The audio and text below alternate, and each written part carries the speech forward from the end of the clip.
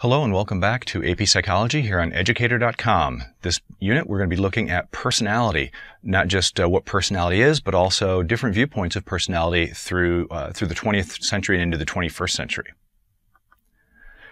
First, uh, you need to know that personality is going to be 5 to 7% on your AP Psych exam. So that's 5 to 7 multiple choice questions that you will be looking at uh, that deals with these particular topics.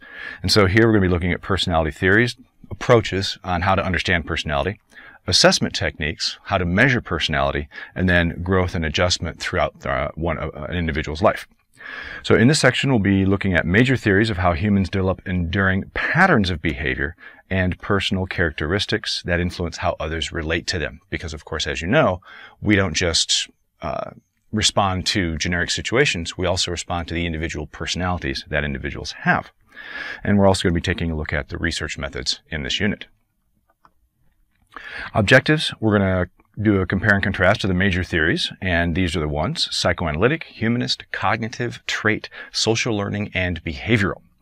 We're going to be looking at the research methods, doing a little comparing with those, and going to be uh, becoming familiar with things like the MMPI, the Minnesota Multiphasic Personality Inventory, the TAT, the Thematic Apperception Test, and evaluate their relative quality based on reliability and validity of those particular tests. Additionally, we're going to look at cultural context because one of the things that we cannot do is distinguish an individual from his or her culture.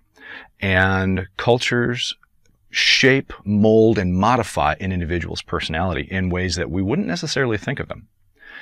And so how uh, cultural context can facilitate or constrain personality development, especially as it relates to, relates to self-concept.